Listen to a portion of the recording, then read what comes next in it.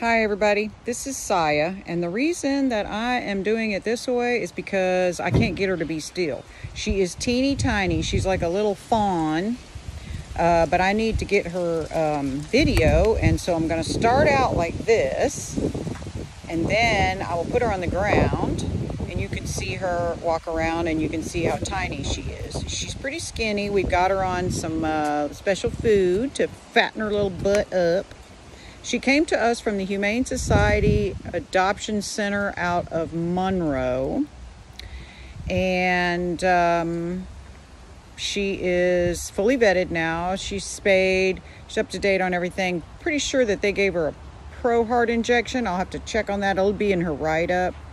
Um, and uh, so she is ready for adoption. Did you say I'm ready for adoption? Oh, okay. I'm boring you. So I'm going to put her on the ground so you can see her run around. And I'm hoping I can flip this phone, but uh, it's not, doesn't have, doesn't look like it has an option for me to flip. So I might have to merge the videos. So I'm going to cut it off for now and I'll flip it around. All right, so there she is. Um, she is teeny tiny and uh, videos and pictures sometimes don't really show how tiny they are. Um, so let's see, let's go over to the fence and you can see her around other dogs. Come here, Siah, come on, come here. So see, there is, um, that is, uh, that's Leonardo. So we've got some chihuahuas over there as you see, and you can see how teeny tiny she is. She's like a little fawn. Her little legs are real dainty.